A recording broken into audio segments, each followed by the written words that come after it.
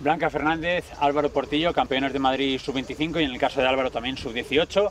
Eh, Blanca, empezamos por ti. ¿Cómo, ¿Cómo, es un torneo que al final, eh, ayer salías con cinco, hoy salías con cinco golpes de ventaja y has tenido que ganarlo en el playoff? ¿Cómo has gestionado, sobre todo el último día? Joder, pues la verdad que cuando he empezado a jugar, a ver, siempre es golf, entonces dices, como al otro le toque el día o tú de repente salgas y no metas ni en calle y no seas capaz de hacer pares, pues es que putada, ¿no? Y he visto así que yo empezaba a fallar alguna calle tal y Sofía encima iba metiendo verdis y eso y, en un hoyo nos hemos puesto ya empate y digo, madre mía, digo, ponte al feito y pégala y metela en calle, no sé qué, y he empezado a ir los últimos hoyos, las, las he metido en la calle, y luego me he hecho un bogey ahí, me ha vuelto a empatar porque me había hecho un verdi en la anterior y hemos acabado el último hoyo las dos muy bien y casi verdi de las dos, pero no hemos metido ninguna, y, pero nada, ha sido muy interesante la verdad, ya me había dicho que no iba contando los golpes, pero vamos, que yo los iba contando y íbamos ahí todo el rato que sí, sí, que sí, no, ¿sabes? Y... Bueno, y, esto sigue sumando a un año espectacular, para tanto para ti como para la familia en general, ah, para con tu hermana campeona de España, eh, no ha mm. podido estar en este torneo, pero bueno, ahora ya, por lo menos, vale, sí, campeona de España, pero tú otro campeonato de Madrid. Yo soy de Madrid. Que, quieras que no, está muy bien, ¿no? O sea, ¿cómo, cómo lo estáis viviendo? Sobre todo, tanto el, vuestros padres como vosotras, esa rivalidad, un poco como... No, rivalidad, bueno, a ver, es que es es que es diferente porque no es como un, no es como nadar, ¿sabes? Que sales ahí y estás literalmente compitiendo contra otro en una carrera. Es que aquí son 18 hoyos, 3 días y dependes de la suerte encima. O sea, no es una línea recta.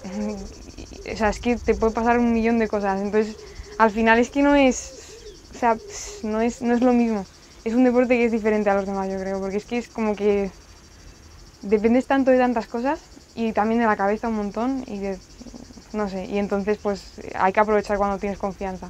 Pues la verdad cuando la tienes es una gozada. Eso te iba a decir, también para terminar, hablar un poco de cómo has recuperado esa confianza después de, al fin y al cabo, un año malo que, hmm. pasaste de juego y de, yo creo también de confianza.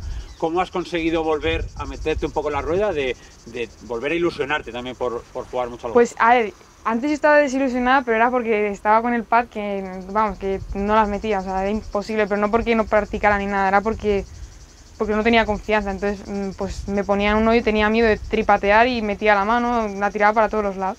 Y ahí entrenando y tal, y pues básicamente haciendo más rutinas y eso, pues me he ido consiguiendo confianza y ahora meto los pads. Entonces ahora sí que tengo motivación, porque es que llegar a green y hacer cinco pads es deprimente, o sea, literalmente, es deprimente. Entonces una vez que ya te empiezan a entrar, pues ya vuelves a cogerle gusto al juego, pero si no te entran, es más esto. Pues y ahí, sí enhorabuena y que sea que haya más como estos que el año viene defiendas bien el título. Sí.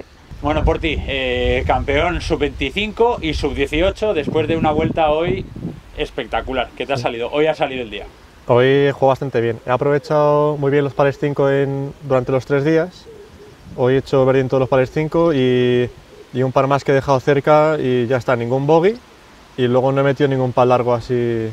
Pero bueno, ha sido, ha sido bastante bien el juego un año en el que se te han escapado algún que otro torneo, así en última jornada o algo así, o yendo líder, es más fácil cuando vas por detrás que te quitas la presión y solo tienes que ir, en este caso, a cazar a Sergio, y eso que estaba cinco golpes por delante, pero ¿cómo te planteas el, salir a jugar a, cazar? Porque no queda otra. Yo creo que es más fácil cuando vas por detrás que yendo primero. Yendo primero siempre tienes la presión de no, hay, no cagarla, no hacerlo mal, y sin embargo cuando estás detrás es o haces verdis o, se acabó. Yo creo que es mucho más sencillo ir por detrás y hacer verdis, yo creo.